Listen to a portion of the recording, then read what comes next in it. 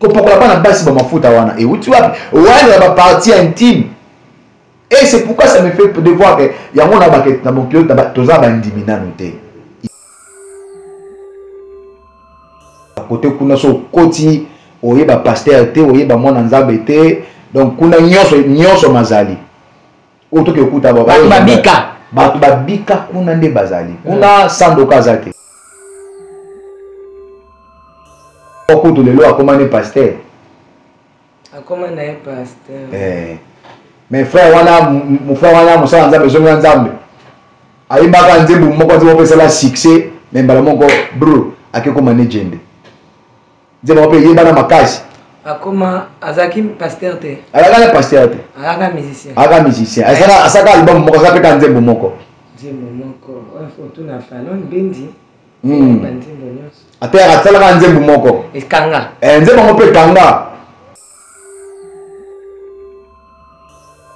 c'est un homme père kati ya mokili ya mboka so ayebani aye nani prophète ana te mwa mobali babotaka te wana baye na ye baprophète ayebi se ça va luka mwasi bosala nini mwasi aya tosolola nde tobona tosaki mpona mpona mpona mwasi directement ensemble mwasi aye atiki mobali abini mpana yebi mwasi ayebisi mwasi boye mobali ana aza na mbongo soki otiki ye tanke ende etali yo lo ndenge oza bobanda obota na ngai wa camarade na yo eh, donc bana oyo bando obota wana ayebi kaka ye abandi kobota mais bana baza bana nani ti lelo bana wana bazali ti lelo bana wana bazali donc mapapana wana ye bana aye papabilongi baoba ya prophète te papa na papa na ayebi kaka ke ndamba asali mpo badekalaki ya bando kobota te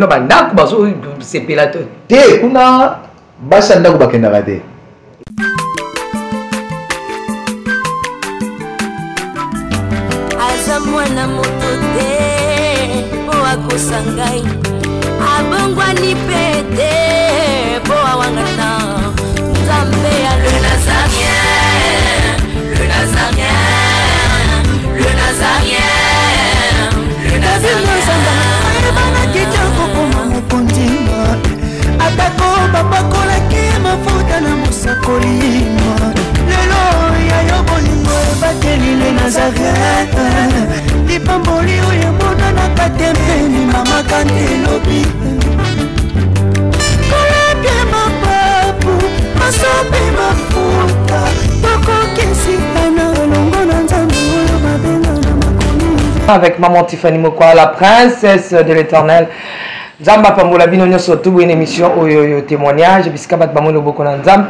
baexpérimente makambo na moyini satana babetaka miso paipai te bazongela la humble la princesse pour que tobeta masolo yango ndenge ezalaki toye lisusu avec euh, l'homme de dieu le prophète egypti oyo azobeta témoignage oyo kobetisa basali na nzambe motema du du du du jusque là na bandi kotanga bakombo te mais toyebi te lelo akotanga bakombo ya basali na nzambe oyo amonaki na balimete bani banini ngai nayebi te mpo ngai nazalaki te na bahotel place bakendaki na eyokanga na basoutien na besui donc euh, lelo tokoba na ye mais le temps pour moi de rendre grâce à dieu ndenge amonisi biso lisusu na mokolo ya lelo na loyembo oyo epuis nasengi na bandeko botia biso euh, affiche wana ya le 22 juin oyo oh, maman tifani akozala na mboka ya belgique déjà tokomiyela kala mingi te na quelques jours awa tokozala na france france belgique hollande et puis un peu partout pour la gloire de notre seigneur yo moto olingi oyo ozala na la princesse na maman tifani benga na banimero wana komela biso tokozala nayo émission olingi oleka toza wana prédication toza wana olingi en ce que toyamba yo na oyamba biso toyemba na église toza wana olingi ete toya to, to, to koteya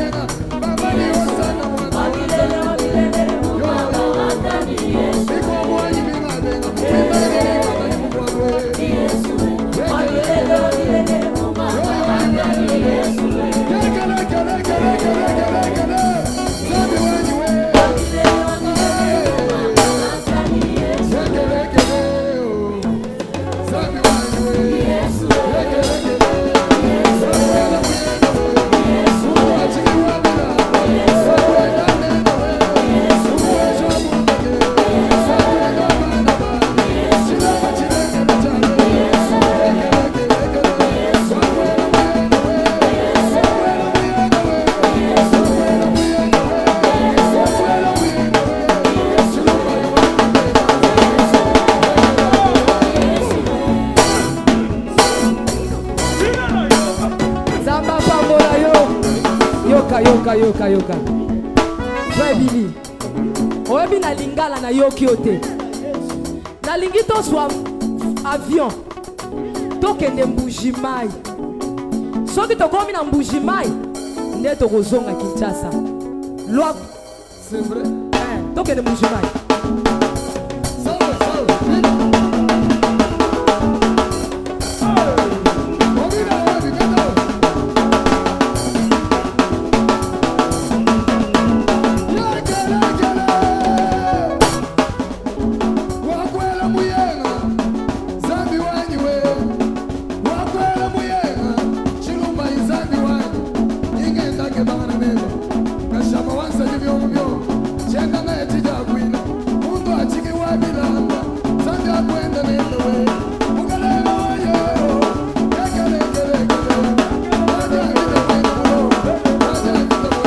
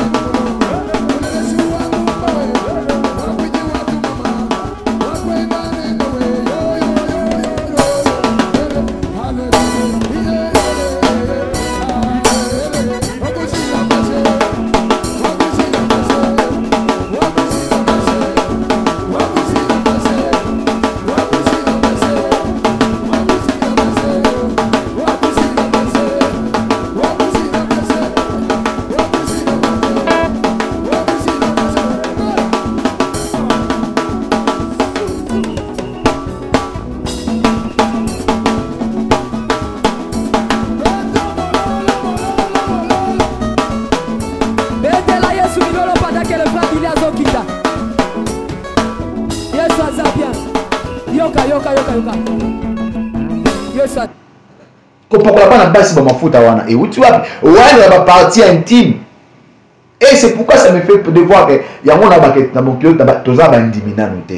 Il faut donc enseignement. Tellement que toi kaka bon, tu peux pas ba ndimi parce que ba ndima ka bindimela ndimela ndimela. On doit avoir des chrétiens. Parce que somme ta donné mon ndimi, akomi un véritable chrétien c'est nier. Et tant que ça mon ndimi, on sait sala boye andimi sala boye andimi lokola kondima nako koki kondima te andimi bindima ndima okay. parce que bazaka bandimi mais quand tu deviens un vrai chrétien makambo so ondima yango te ondima yango te mama parce que towendre basi bamafuta à plusieurs reprises eh, à plusieurs reprises bamama mikolo à plusieurs reprises bobangaka ata te wana kutu kobanga eza lisusu te ye ozogangela ye nde oh. ozogangela ye ye azoganga azobanga aza liboso ya prophète oloba nini azobanga parce que yo nde ye ozoloba na ye donc ekomisaka moto na mwa une essence ya autorité moko boye donc ntango moto asala makambo koloba yango te avec na loko ya kobanga donc fo loba yango avec une parole auto donc donc tant quand tu le fais tu parles avec autorité sikoyo eza ke bakobana no na makambo moko ke eza eloko te ezaka mayele moko ya moke baza kointroduire yo molo molo molo ti bakokoti yo na bain ya makambo wana Et tant qu'on continue na ba makambo wana ekomi nde misisme. C'est le misisme na makambo ba showbiz bazo transmettre makambo wana et tout cela. C'est pourquoi que Dieu me pardonne. Que Dieu me pardonne, je lève ma main droite, que Dieu me pardonne et que tous ces actes que nous avons commis en dehors ya volonte ya nzambe que Dieu me pardonne yo pe omoni olekala ba service wana epa basali na nzambe basala eloko boye olekala mutu moko boye epa basali na nzambe yaka tobondela po na yo et après que ba ba babengi bengi yo bandi oboya na yo na be babengi ekomi suku ya ba menace po bandi oboyamba te poani te na na loti d'abord ndoto ya baboti na ngai mpe nkola alakisi ngai moko na ntongo sikoyo nakomi osanti ke soki nakei seke mabe esani namoni mama na nga papa baza isole na esika wana seke bato nyonso bakenda kosimba bakisi na monde sika il meurt na monde ya spiritualité il parte là-bas donc seke ils n'ont pas voulu ke nakende esika seke nakota nzela wana te sikoyo naondima mpo par respect ke na décrocher nakende te pourtant me nasala nini nayamba te mais ekomaki ya bainsistance ya makasi ya mabe yaka kaka akoma wa yo tolakisi yo makambo bisika bamessage wana ya bamessage eza je peux vous montrer mais avec discrétion oui, oui. pour que to tolese bato mosusu te te ezali nabombaka yango ya de fois une fois je change un téléphone nasalaka transfert ya biloko wana nabomba mosusu kote mosusu parce que eza bapreuve si aujourd'hui meme un quelque chose ekomeli nga eza bapreuve oyo nakodemontraka bato un jour lobi parce que ntina oloba mpe awa bamenance ezali c'est que un jour ya problème qui m'arrive fo asali nalakisa bato eza makambo mosusu meme ata boye la femme en question anga azali na lobele makambo mosusu en secret parce que makambo mosusu ayeba yango déjà po soki ayebi te ke un jour mabe ekomeli nga mama ayebi masolo nyonso ayebi makambo mosusu nabeteli ye ndambo ndambo meme mosusu makambo mosusu ya kati makati na meko kolobela ye te mais l'essentiel bite azaluka lisusu na internet ah, na internet olanda okay. eh, ayebi makambo mosusu mama on a fait de bêtise ya masekite ya makasi basala nzambe toye te mpona kodetruire église pe déjà oloba ndambo na église déjà je parlais église maintenant église maintenant ça évolue très bien gloire à l'agneau église ça évolue très bien très bien très très bien très très bien et au contraire, pardon pardon au contraire euh, Dieu a, a, utilise encore plus, plus que plus qu'auparavant mwa basekele etikala te te eza te eloko eza te ah, eloko eza te eloko eza te mama quand dieu a franchi il a franchi pour du bon il a franchi mais tika nanu tolobela to likambo appel eleki oboyi appel elekaki tellement makasi nazwi telefone na seni nakangi telefone mpo ke na nakende te teme kapele elekaki tellement makasi apele eleki tellement makasi eh, nakangi telefone nafandi bujoni wana mai tokomi 20 euh, heures ba 20 heures passé ba mokwape nabimaka te parce que nakomaki kosentir déjà na kati ya insécurité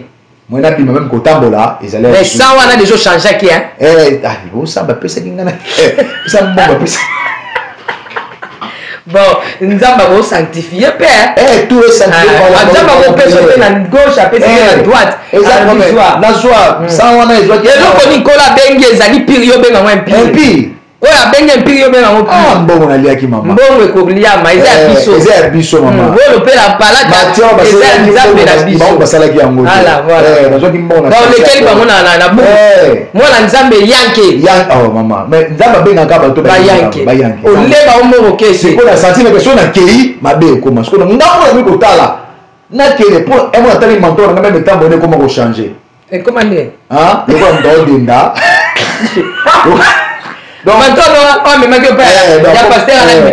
aodenda akoma otama lokola motu moko boye ata afandi na kiti fosa kaka motu mopanzi fatenga afa afanda kaka boye seke paster ana limetama tape seke na comprendre ngai nafanda bi o oh, seke ngai mpe ndenge nakoma kaka boye ah! nga mpe ndenge nakoma kaka mais obi ke na bon wana ye te mais mosusu alekaka awawa ah, ye azalaka ondire mwasi azolela ke nga na ye olingi oyamba nga te boye na boye boye na boye oui kuna na monde akuna showbiz ya bamosusu bazali basi bamosusu bazali mibali soki ozali mwasi dabord ozalaka nini il faut il faut d'abord okende ba affecter yo batiki semence après yo pe okomi kopesa okomi kopesa bato donc ozosalela double signe donc yango wana donc yo kote opesi bapesi yo kote osala nini opesi donc baopesa yango na nzela nsima na nzela nsima nzela opesi kuna donc chaine ya molai yo mpe fozala fozala kaka bato baaffecte bango ata baza toke eluka bango na makasi ofo luka na makasi sikoyo batravai wana batravai wana eza ke soki oza na mwana mofo na babali yango omona bapaster mosusu babimaka na basi mingi na mokolo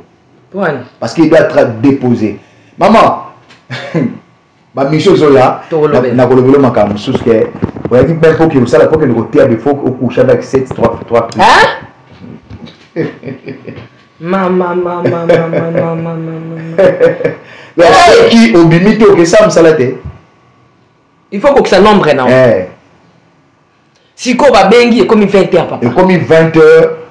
namoni sikoyo batindeli nga motu motu batindeli nga na donc mentor na nga abengi moko ya baninga tozala na bango kaka wana bokende opekisa mwana azotya misapi na boyebisa ye ayamba telefone to afongola telefone na ye aya sikoyo awa kotokutana wapi esika tokutanaka kuna esika tokomaka banyama donc kote kuna so okoti oye bapaster te oye bamwana nzambe te donc kuna nyonso nyonso mazali oyo toki okuta bato babika bato babika kuna nde bazali kuna hmm. sandoka aza te kuna égyptien aza te égyptien aza te bato baleka ma ya eh, egypte donc biso bato babika mpenza ya solo soki te ama kobika yebaki obika so moto ayakondika yaye obika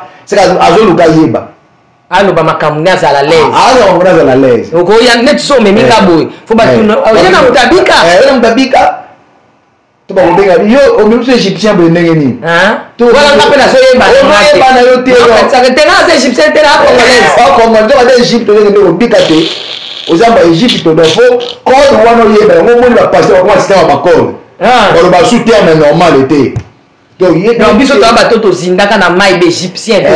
tozinda eh, bino bolekaka oh donc obika te moyo okende wana ezali te hmm. sikoyo place wana eza place kaka ya bajende le terme abengaka biso yaka bajende le terme ya bajende bajende nde bafandaka kuna bamusicien mpe baza na makambo wana bazali ebele tozoya bamusicien bazali ebele moko kutu lelo akomani paster akoma na ye pasteur eh. mais frère wana mofrère wana mosala nzambe ezongi ya nzambe ayembaka nzembo moko nzembo mpe esala succès mais mbala moko bro ake koma ne jende nzembo moko mpe eyebana makasi akoma azalaki pasteur te azalaka na pasteur te azalaka musicien azalaka musicien asaka album moko asaka mpe ka nzembo moko nzembo moko oyo fotuna falon bendi hmm. ateyaka asalaka nzembo moko ekanga eh, nzembo yango mpe ekanga nzembo yango ekanga ekanga nzembo yango ekanga makasi ekanga makasi akoma jende akoma ne jende amona abeta so balbom siko atimbela kompo wana afana ne kuna ah, te nakoyeba donc so nabandi koexplike yo kaka nabandi koexplike yo kaka soki abandi koexplike yo kaka soki abandi koexplike yo kaka hmm. nabandi koexplike yo kaka na nzemba yango ayemba makambo ya bakisi eh, atretaka boye boye boye boye kisi oyo koto mosusu ebikisaka te koto ebikisaka benga boye na ka oyo benga boye na ka oyo benga boye okomprendre nga te mama eh? na likambo oyo benga boye mpo na ka oyo ka oyo kisi yango ezalaka awa te kisi yango eza kaka boye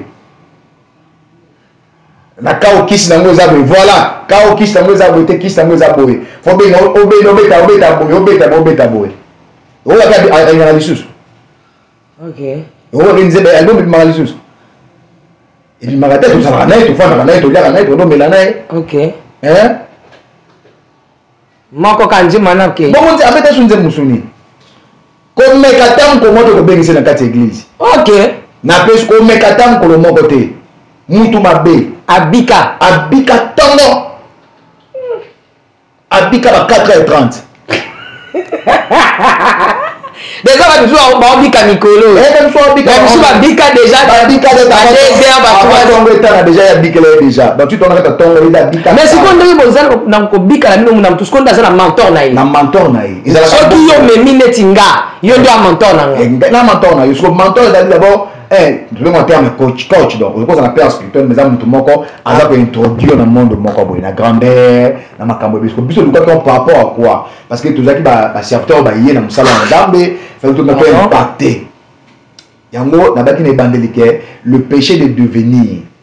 kokoma lokola bato hmm. nde ebomaka biso eh, papa mama nabengana ndeko wana nayebisa ye kotya makolo ndako na ngai ayepa na yo loba nini ayebisi nga papa alobi nayebisa yo kaka na ya kozwa yo sikoyo tosala nini tokende kuna so camarade na wana oyo ayelaka mokolo mantor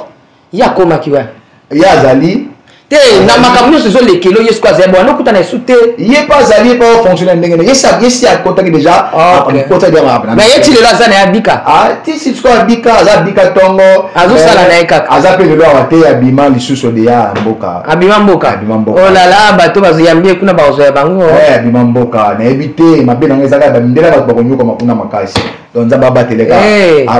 abato baza kuna ezala bazala perdi te oh là là na bima limboka ngo ndenge ye nini na methodologie nini wana mpe okoya meme papa na ngai lere aye ayoki osoni te boyoka na soni te to booloba na botala na ka boye te kuna bato babika yoka na soni te ayebisi yo neti ni eh, kuna bato babika ozabi papa alobi okende kuna yo esika bokende aloba obenga baposa kuta na yo ozoboya mpo na nini kende moto ayebisi nga biso tosalaka nyonso mpo tozwa mbo s'il faut vendre tout faire tout pour avoir de l'argent on doit le faire hein? donc pour tout soki ayebisi nga ke laa na mabele na olaa lia nini oya mpo nazwa kaka mbongo mpo na bango mpo na mbongo on risque de tout faire sauf rien mama nayebisi yo me bandeko basi na baeglise soki osala yaya kobima na bapasteur wana luka basala nzambe babondela mpo na yo luka ba mama eza na bafoye ebele omoni babasi ya mabala ebele ekufi bamibali yango bambongo ekangami ekangami bakotisi bamalédiction na ndako koma yo ozo respecte pasteur na yo koleka mobali na yo ya ndako ezalaka normal te hein comment tu peux donner quand ton mari oyo abali yo atyo na kati ya ndako tu le respecte pas vraiment mais libanda dadi abia de respect Maman, il y a beaucoup de choses. Mais là, vous vendez à la cobique, à la bino, à la bino, à bino, vous bika, vous sekara bato, hein. Vous sekara bandi, mina ba pasteur, il y a, il y a ruban, en zamba, vous sekara biso ma belle. Bon, bakashi. maka ya kufa kaka bongo tala ndenge akomi koseka ya maseki te mama nalingi nafungola parenthèse moko okay. nabeto lisolo moko boye mm. lisolo ezaka ya moko ya baninga na ngai mm. lisolo na kobetolo yango kanganga malamu Ndeko moko aye epai ya mosakoli, aye epai ya ndeko na ngai mosakoli ayamba ye, aye baza na problème ya kobota mais c'était l'homme qui avait le problème ya kosala nini ya kobota et non la, la, la femme, femme. aye akute mobali akuta na ye asololi na mobali solo mobali esi mobali si c'est comme ça benga mwasi na asala nini mais moto yango na oloba aza mpe une personne aza yekoli na kati ya mboka oyo c'est un homme mpe aza na kati ya mokili ya mboka so ayebani aye nani prophète ana te mwa mobali babotaka ah, ah, te wana baye na ye baprophète ayebisi ye sava luka mwasi bosala nini mwasi aya tosola nde tobona tosaki mpona mwasi directement ensemble mwasi aye atiki mobali abini mpa na yebi mwasi ayebisi mwasi boye mobali ana aza na mbongo soki otiki ye tanke ende etali yo ndenge oza bobanda obota na ngai wa camarade nao eh, donc bana oyo bando obota wana ayebi kaka ye abandi kobota mais bana baza bana nani ti lelo bana wana bazali ti lelo bana wana bazali donc mapapamutu wana ayebana ayebilongi baoba ya prophète te papa na papa na ayebi kaka ke ndamba asali mpo badekalaki ya bando kobota te ayebi kaka nzambe asali nini nzambe asali sikoyo ye paster prophète bénéfice na ezali aozwa mbongo aozwa mbongo parce que na miso mwasi akomi mpe mwasi na ye te sikoyo mwasi akomi lokola kanal oyo makambo nyonso elekaka kuna asala nini ayebisaki koto oyo donc message nyonso asala nini donc ntango prophète abanda koleka be aobeta mobali yebimaka nani exact donc mwasi ye mpe akoti na ekiri me sanki ayeba sanki ayeba babota bana zo prophète batie mwasi na ezemi na bino mpe kuna kuna zemi koto mpe zemi kuna mpe zemi donc asiki bango na basi mibale basi bana mibale bana misa donc bango bota ndenge moko na ye na mwasi ya ndako mais il continue baza ti lelo eseka mpe nana ebimaka te mais nayebi ke eloko nyonso baliaka soki olia mbuma nguba na se ya mai mposo esalaka nini ndeko analanda biso akeba tala bana malamu eh, bazo melongi na yo ya professeur combien c'est pourquoi yo boti mwana kobanda prophète ndenge nini boza makila moko te na prophète wana te c'est pratiquement impossible likambo ya semence ya likambo ya makambo parce que dans les semences l'enfant prend le caractère morphologie le caractère physiologique soki alandi papa na elongi te meme na caractère yo meme caractère na yo eza na kati te meme ata elongi na yo na kati wana ata elobeli na yo eza na kati siko mwana yango aza me olandaka papa kulutu papa kotiaki zemi wana Vous voyez des choses qui se font à l'église. Papa, ma bengi yo 20 heures. Au gangue ndeko wana. Na gangue na yebisa na okende te. Yebisa na koya te na okende te parce que makambo na mona ya kuna ya ko na on a loti na butu moi na kende kuna eza te. Ayebisa na eh yo zo banga to yesa na yesa pombe ebongo. Na yebisa za nzambe te. na okei te nazokanisa nazo libete na okei te ake na ye mpe na butona nalali je pas nalaki mpe te parce que insomnie elekaki nga tellement kobangokotelaka na butokota bainsomnie elekaki tellement makasi e nalamuki nalali nalali avuma te et en revientexplike mpe madame te bon moi na explike yango te parce que nazobanga mwasi nanga aza mwana ya pasteur donc makambo mosusu oyo ya biso tozosala ye ayeba mpo nasala makambo wana te donc directement eh, naobanga témoignage na nga mpe naobanga makambo mosusu j'ai pas voulu koyebisa makambo nyonso to mais amona kaka na kati église changement esala nini ekoti aomona bato bazwa kobika oyo pendant tout ce temps wana seke epesama nango kaka sikoyo lero yo oboyi 20 heure olali nalali nakomi na ntongo emission nabai na ntongo apel ya ntongo ezolamusa ngai apel ya mentor na ngai ayebisi nga soki oye lelo te Oyo ekokomela yo e s'engager kaka yo moko. Ya mibale, soki oye lelo te, nazo kawuisa eglise na yo. Nazo ya kozua mabele eglise na yo esika ezali, nao kende na yango. Soki okobi kaka na mosala wana, ke mosala na yo e avancer, loba ngai te. siko tala na domaine biso ba mentor babangaka bango makasi ye eh. mm. sikoyo nazwa courage moko kati na ngai j'ai pas compris nayebisi ye soki oza nzambe eglise wana esala nini soki mpo oza nzambe ngai nakufa aloba na ngai kutu kayebisi nga soki oye te ane tozali nango osilisa yango te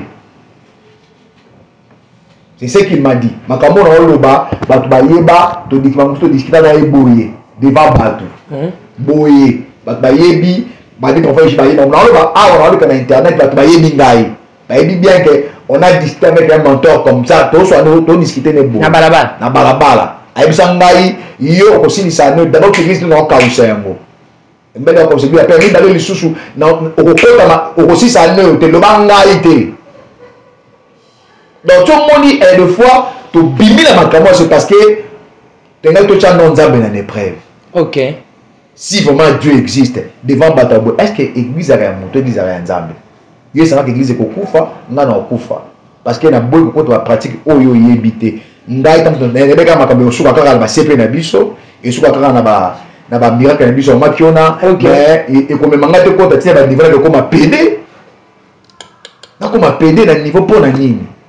nkovanda mopanzi eh, mpasi wana na mitali nga moko ozo nanga baconfitofait obangaki mpasi ya nzoto ya ndenge ya kokoma pede to obangaki nzambe d'abord nabangaki nzambe parce que d'abord cette chose là eza contre nature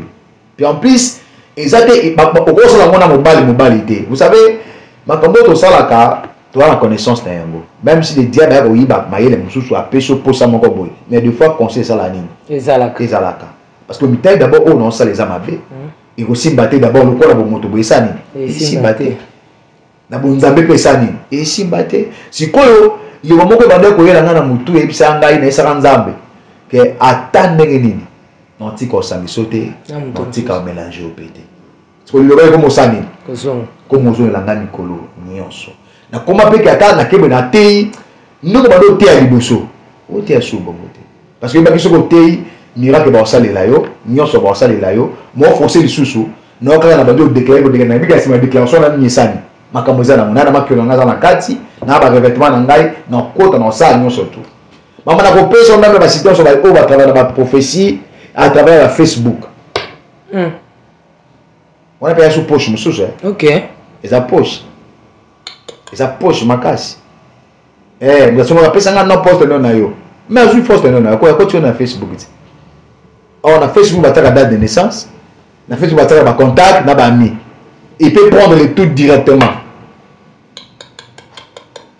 Hein? C'est que bas ebele hein. Kana non non non faut loka ba ba, ba poche. Nga ba ki na inde ko dévoiler makam. Mm, mm, mm. Naza contre ba prophète était. Les vrais existent.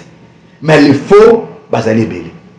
Les vrais existent. On za balobaka. Mais les faux bas allez. Siko baza na mawa te, baza na mawa te. Bango mawa zali te, mawa zali ka joka kambongo. ye pona ye azwa mbo mbongo mama yango ata ba facebook oyo omona ko mikolo bango sokomo travaille na ba facebook ntika ya devole ba secret na bino deja ok mikolo ba change système système ekomi nini facebook donc na facebook aza na ba contact na yo na facebook aza na makambo no nyonso tu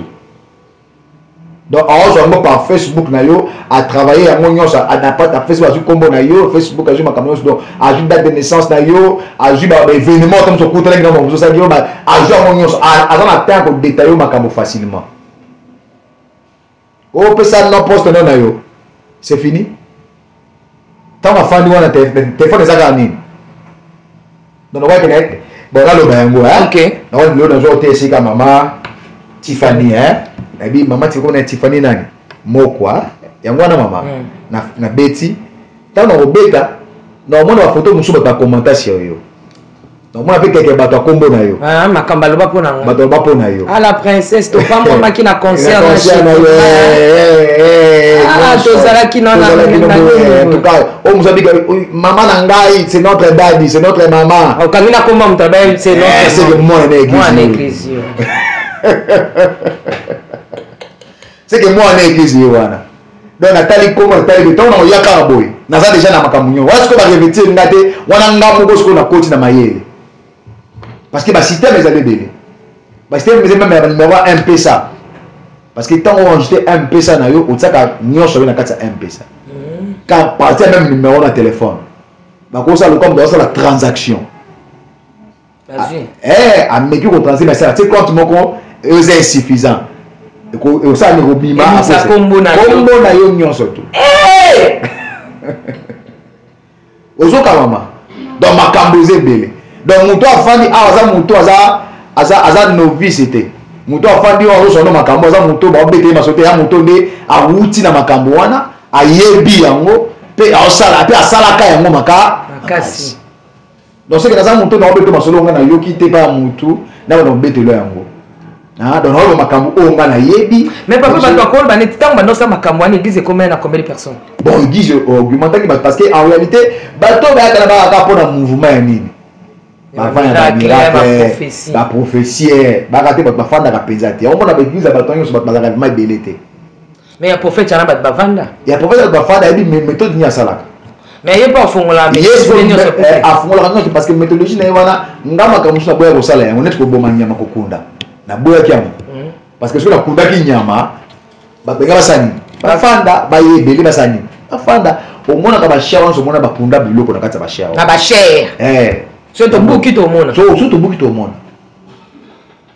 yango na ntango soki esika sikoyo natuni na butu na kobuki okundi hmm. ozipi meme na ntongo bana bakamona kashere ezala ya boye te papa te ntango mosala esalama nyonso esalamaka eza ntango papa pasi aosala mosala yo mwana eglise otelemela ye papa okoloba neti ya mwana nini songa ndako natuni question moko yo osala mosala kati ya eglise a bana mosusu bakogangela yo mama babomosaki boye mpo na nini balobaka momi momi eh, ebongisi ye naobongisa mpo na bino ti naobongisa mpo bolonda na yango ti eh, me akobongisa te me aobebisa omoni yango babia bajeune fille bajeune ti avant ebele eza ya kobe ya surtout bajeune frère bajeune ti ya mama yango bandeko na ngai basi bobanga nzambe ntango oye na kati ya eglise hmm. fanda oyo oh, mondo wamema bapratike moko ya malamu te kokende te yo oyaki eglise kobima na prophète mpona nini yo oyaki eglise okokomi mpe mafuta kuna basali bakomi kojuge yo mpona nini yo oyaki kosamba mpona makambo ya délivrance problème ezaki oye likambo motu mpasi mais bakomi kojuge yo yo yaki libongo pasi bakomi ojoge yo oyo likambo ya libala bakomi ojoge yo siko kojoge wana eza sur le plan spirituel bozwa makambo to eza kaka bilenge ya nzoto te makambo soki mpona kosepelisa kaka nzoto oh my god donc basi bazali vraiment bato baosibir makambo ebele ba surtout les femmes pas les hommes hein? ah, mibali bazalaka na mwana mwa irrésistance mais beaucoup plus basi ils sont beaucoup plus manipulés C'est parce que les femmes aiment bisika au moins loyenge ezali ils acceptent les choses fa facilement facilement mais prophète ezalaka nini technique oyo eza ke omona moto ayeboye paster ayeboye so atelemi ayobeta appel de fond yo mo paster mokolo église okomeka boye waye mais omona ye aye abeti ape moto ya mosusu akende meme koyiba disons koyiba te me koteka télévision pesa batelefone bakongoli batelefone pesa nabaki eloko mwa na émission ya président se oyo tobengi je vouli je vouli je vouli je vouli wana eza bato batekaka na bokrisa bokoko oyo omonaka baba matiti oyo bapesaka bato o oh. titi yango tiango na kati ya lolemo donc oyo ozoloba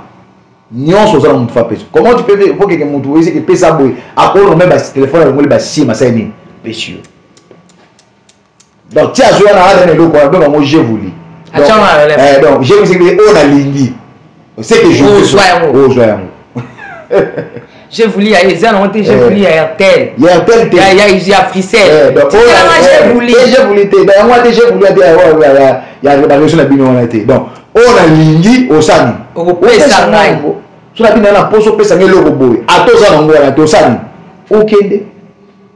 oke oluki oluki oluki yango oke ozwi omwake paster mona eglise na aza banda appel de fond bato basala nini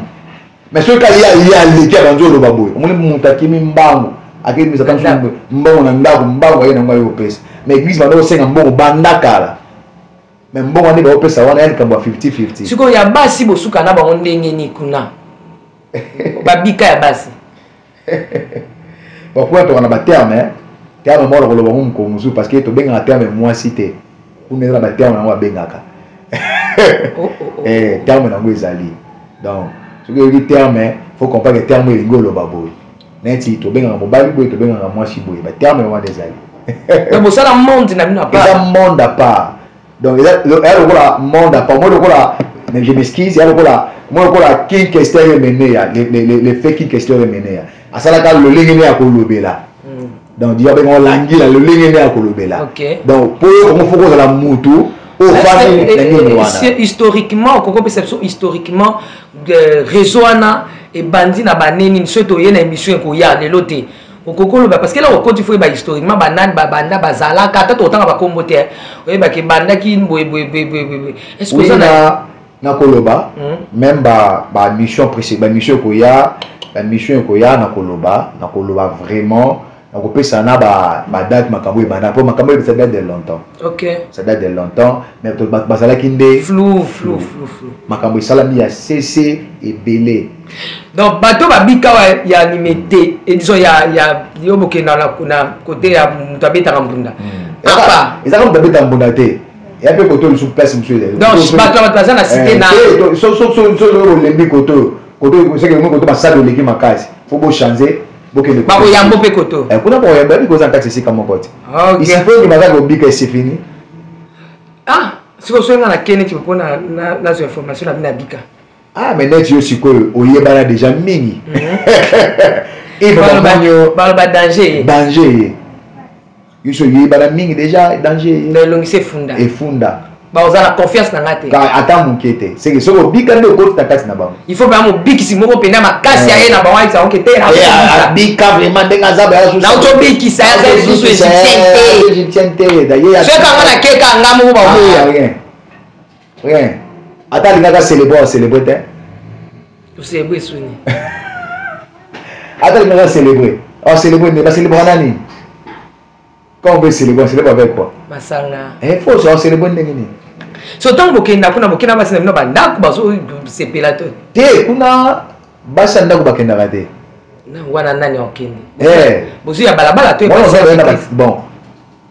Tala bango wana na ko expliquer yango nde tobengelaka na mission ezalaka soki mpesi na ndia naloba yango mpe yo oui oui toloba yango yango eclotire eh, émission mpo toya eh, soki oyeba lobi tako seke mwasi ah. mama boza na charge ya kobimisa baterme charge mosusu boza na bacharge ya kuna to ebimaka bongo na se ya esengo ya célébration te eza makambo deja esalama oyo okutango kaka te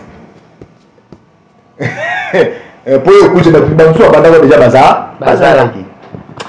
soki oye na mwasi na ndako amoni babuzoba esalamaka kuna mabe eh, mais nzambe alimbisa biso makambo oyo tosala que la miséricorde de dieu eza likolo na biso ngai ya bino ayisa bino oh je suis plus de ces choses là Donc soki okutani na nga okozwa le vrai miracle, tu seras sauve. Mais nabengi bato baleka epa banzela basakoli wana. Oyo ta mosusu abima na basakoli na mosala bakomisaki ye mwasi na ye asala ye jugement, tu sais pas ce qui a depose kati na nzoto na yo. Ba mosusu baosala ngo pona sentiment, ba mosusu bazo beneficier na ba aura na ba etoiles ya bato. Parce que il faut oyeba à chaque fois que otikalaka bolumbu na miso ya moto tu perds une pouvoir. Ozo perdre eloko moko kati ya moto parce que pouvoir ya moto ezalaka na kati ya bolumbu na ye pe. C'est pourquoi Dieu n'a pas voulu que l'homme batika la bolumbu asaki nini akuvaki bango. S'il vous plaît l'homme de Dieu tokiti na émission on a question oyo oh, pona lelo po to stoya kozonga ndenge papa mentor nabengaki oyo na 20 heures ke lelo so ete wana totiki toya na wana mais nangi natuna hmm. ekiri ya limete hmm. oyo oh, ya bato ya nsima eza makambo mosusu oyo mpe kote oyo baza makambo na bango mosusu to bato wana nini parce que nandimi teke bato ya kiral mete bayaka na makambo na bino na kobika wana bon ezali tozali ngambo na ngambo mais fonctionnement eza kaka système eza mo moko malgré tout bato ya contre na contre bazali sikoyo eza bacontre mosusu moko accéda yango ezali te bamobele na mosusu cour de gabon bakotisa bamema yo nde bakotisa yo so bakotisi yo donc kuna eza susu te oza na baniveau kaka oyo mokotisi na baniveau mosusu parce que kuna na kati ya makambo tomona oyo la science ekota ya makasi merci l'homme de dieu tokomlobela même temps surtout likambo bana basi bautilize betoile na bango makasi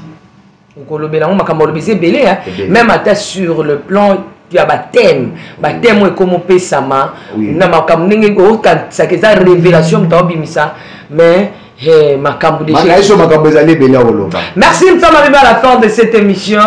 Bandeko balandi biso ebele même na sima ya caméra bandeko baye koyoka prophète bakoningisa ka moto esili so kondima te ya solo mpe bazali malgré bamingi ba, ba elia koloba ete natikali nga moko te nzambe alobi tala na nsima na yo baza nano ebele oyo bafukameli bale te bazali baza na bango numero ya telefone mot de la fin ok merci merci les hommes euh, balibota ya nzambe ndenge nayesa moto kaka boye le diable atilizaka moto aza na likabo e je se don la soki obeni nga nabondeli mpo na yo quelque soit likambo oza na yango nzambe wapeso kimia nzambe wabikisa yo e nayebisi na bandeko wana baza na ngambo wana Boya de l'autre bord il ya une barque qui est là oyo ezela yo omata po esala nini ikende lisusu de l'autre bord de l'autre bord parce que yeba kala mingi te il y'aura la tempete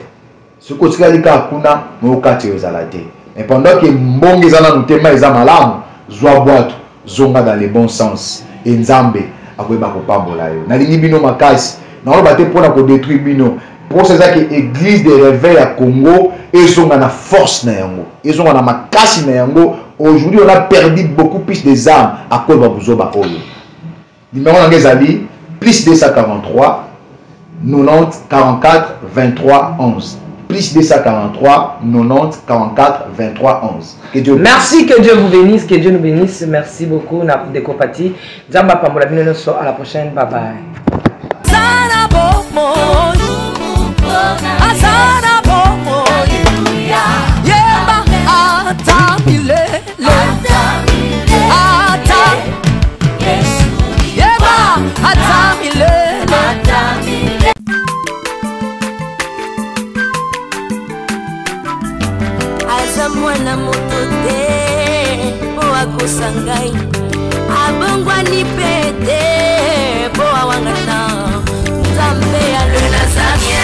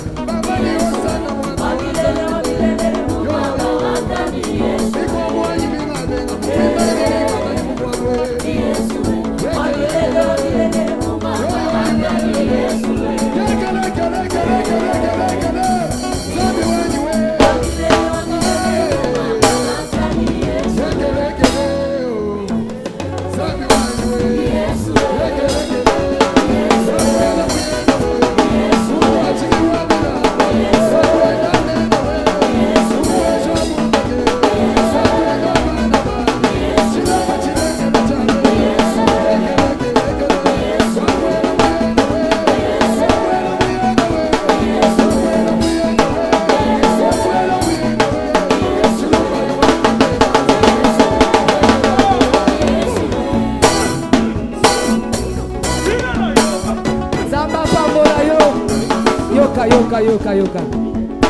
vrai bili oyebi na lingala nayoki yo te nalingi tozwa avion tokende mbuji mai soki tokomi na mbuji mai nde tokozonga kinshasa lwa